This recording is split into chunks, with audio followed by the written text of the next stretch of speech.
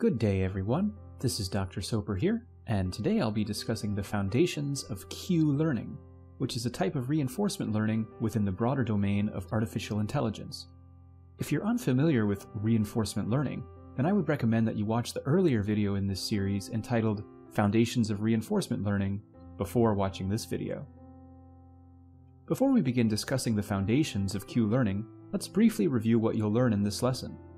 By the time you have finished this lesson, you will know what Q learning is, characteristics of Q learning models, what Q values are, what temporal differences are, what the Bellman equation is, and how the Q learning process works.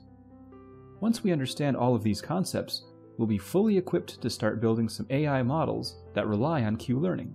So, why wait? Let's get started. To begin, let's talk briefly about what Q learning is. As noted a few moments ago, Q learning is a type of reinforcement learning. Just like other forms of reinforcement learning, this means that Q learning based systems involve an AI agent that is operating in an environment with states and rewards, that is, inputs, and actions, that is, output. Unlike some other forms of reinforcement learning, however, Q learning is focused on what are known as model free environments. In a model free environment, the AI agent is not seeking to learn about an underlying mathematical model or probability distribution, as was the case with our recent videos about Thompson sampling based reinforcement learning. Instead, in Q learning, the AI agent attempts to construct an optimal policy directly by interacting with the environment.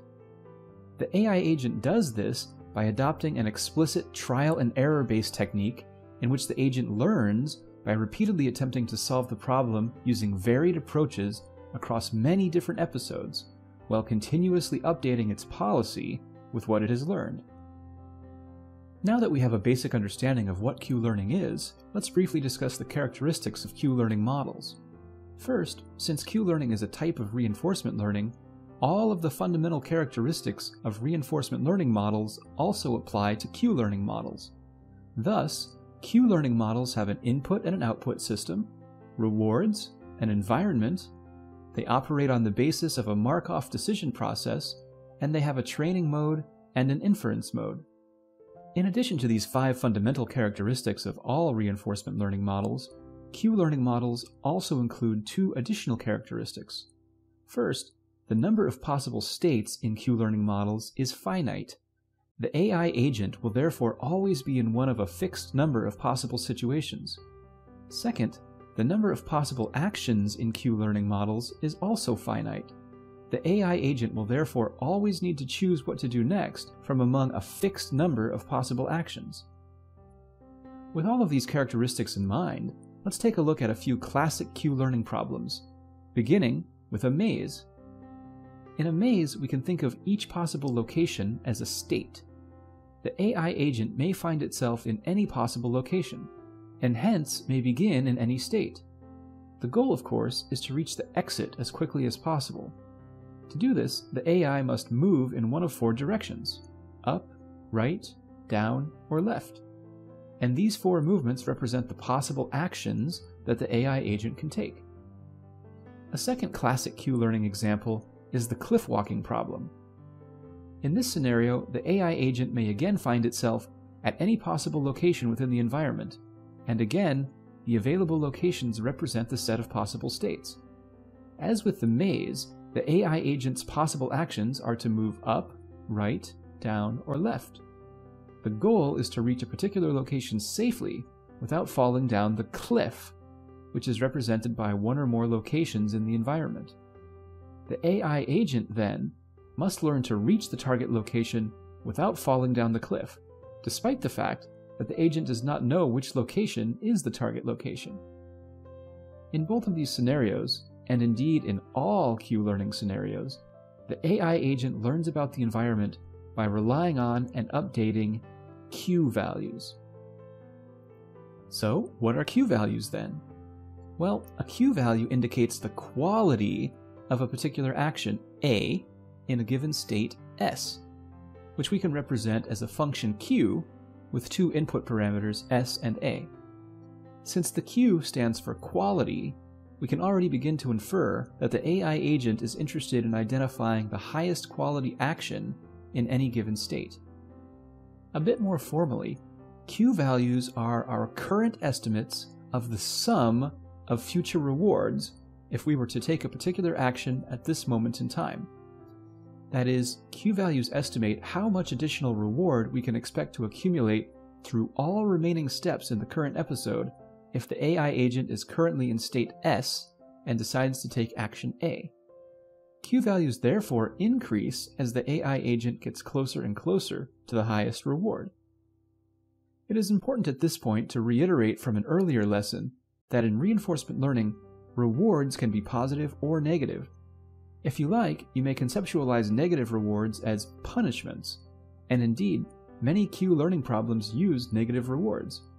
In these scenarios, the goal of the AI agent is still to maximize its total rewards, but with negative rewards, we can think of this goal as the agent trying to minimize its total punishments.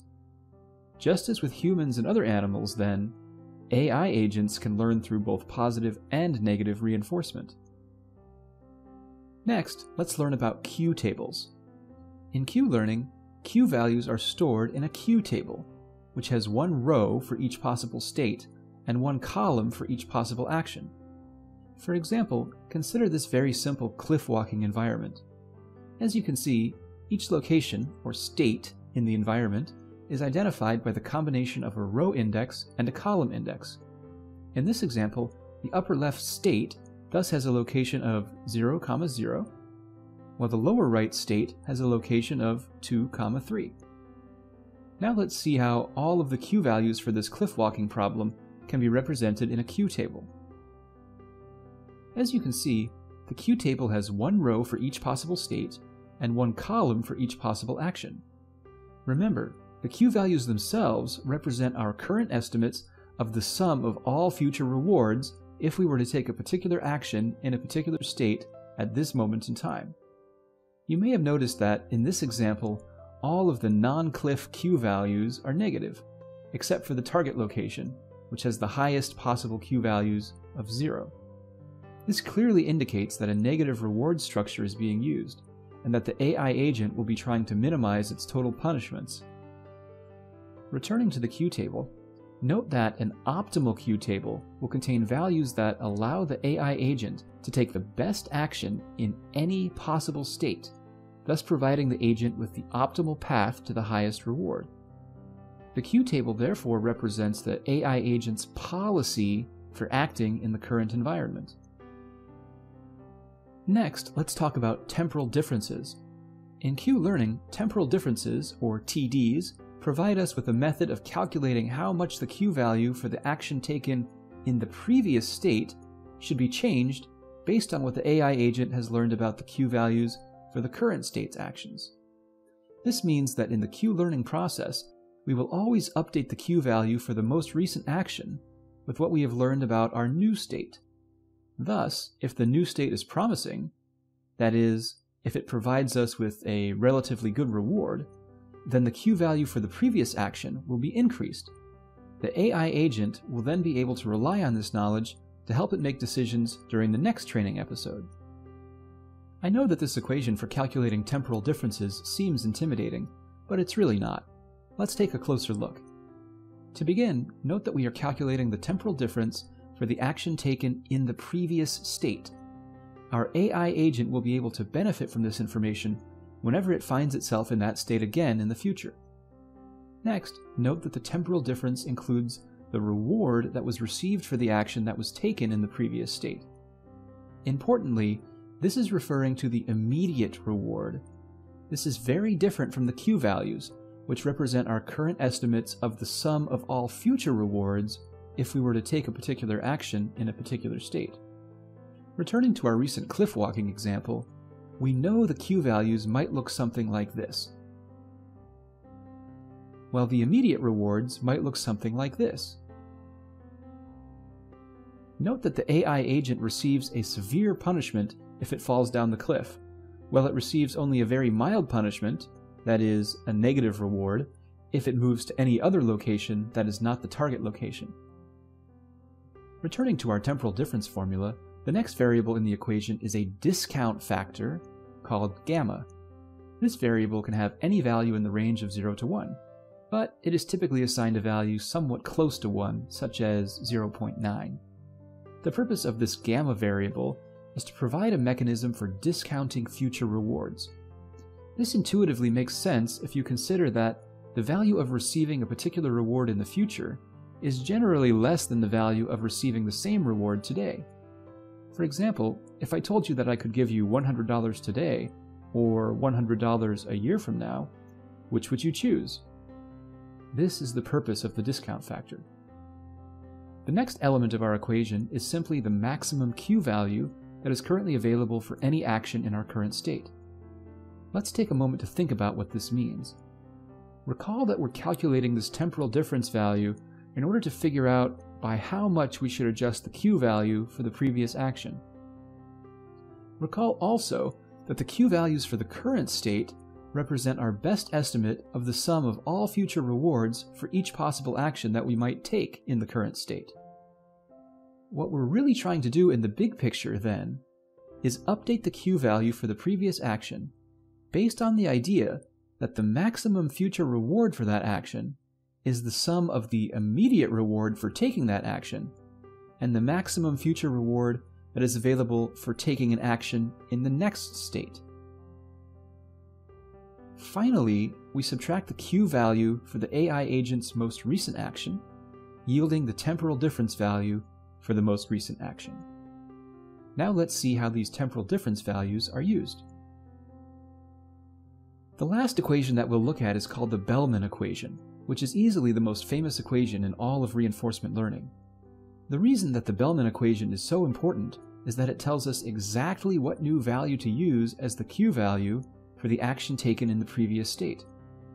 The Bellman equation relies on both the old Q value for the action taken in the previous state as well as what the AI agent has learned after moving to the next state. The Bellman equation also includes a learning rate parameter, alpha, that defines how quickly Q values are adjusted. This means that we have a mechanism for controlling how quickly the AI agent learns. As the name suggests, the Bellman equation was invented by Richard Bellman, an award winning applied mathematician. Let's take a look at the Bellman equation itself. As you can see, the equation is quite straightforward. It simply specifies that the new q value for the most recently taken action is the sum of the previous q value for that action and the product of the learning rate parameter alpha and the temporal difference value that we calculated a few moments ago. Note that the learning rate can be any value in the range from 0 to 1, and that this learning rate parameter can be adjusted during the training process as needed. Taken together, we can therefore use the temporal difference formula and the Bellman equation to easily calculate the new Q value for the action that was most recently taken by the AI agent. Now that we're familiar with all of the basic elements of Q learning, let's look at the process as a whole. As you can see, the process begins by initializing the Q table. Remember that the Q table represents the AI agent's policy for how to behave in the environment. Any values can be used to initialize the Q table. For example, recalling our simple cliff walking scenario, we might choose to use zeros for all of the initial Q values, as shown here. Next, we choose an action from the Q table for the current state. Ordinarily, our AI agent might choose the action with the highest Q value, but it's also important to have a mechanism that will encourage the agent to explore its environment. A very common strategy for this is to use what's called an epsilon greedy algorithm. In the epsilon greedy algorithm, the AI agent will usually choose the action with the highest Q value, say 90% of the time, but will choose an action at random for the remaining 10% of the time. This means that the AI agent will occasionally explore what seems to be a less promising path in the short term, with the hope that it may lead to the discovery of a better overall path in the long term. As with the discussion in our previous lessons on reinforcement learning, this is yet another fine example of handling the exploration-exploitation dilemma. After the AI agent has chosen which action to take, we then take that action and transition to the next state. We then receive our reward for taking the most recent action, and we use that reward in conjunction with the knowledge that we've learned about our new state to compute the temporal difference value for our previous action. Finally, we use the temporal difference value and the Bellman equation to update the Q value for our most recent action. We then loop back to the beginning by once again choosing an action for the current state. The process continues until we reach a terminal state, such as the target location or falling down the cliff. After reaching a terminal state, we move the AI agent back to an initial state and start a new episode in which it tries to solve the problem again by using the updated Q values from the previous episode. The agent will often run through 1,000 or more episodes before we are satisfied that it has learned the optimal policy for the environment. Finally, once the Q learning model is fully trained, it can be used for inference. In a practical sense, this means that the AI agent can use the policy to make decisions in real world situations. Once the model is running in inference mode, Q values are no longer updated, and for any state, the action that the AI agent chooses to take will simply be the action with the largest Q value. Now that we have a good understanding of the principles of Q learning, we can begin to create artificial intelligence models that use Q learning to solve real business problems. In the next video in this series, we'll see how Q learning based AI can be used to solve a warehouse robot routing problem. We will definitely be getting a lot of practical hands on experience in creating an AI model in Python in the next video, so I hope you'll join me as we continue our adventures in cognitive computing and artificial intelligence. Well, my friends, thus ends our lesson on the foundations of Q learning. I hope that you learned something interesting in this lesson, and until next time, have a great day.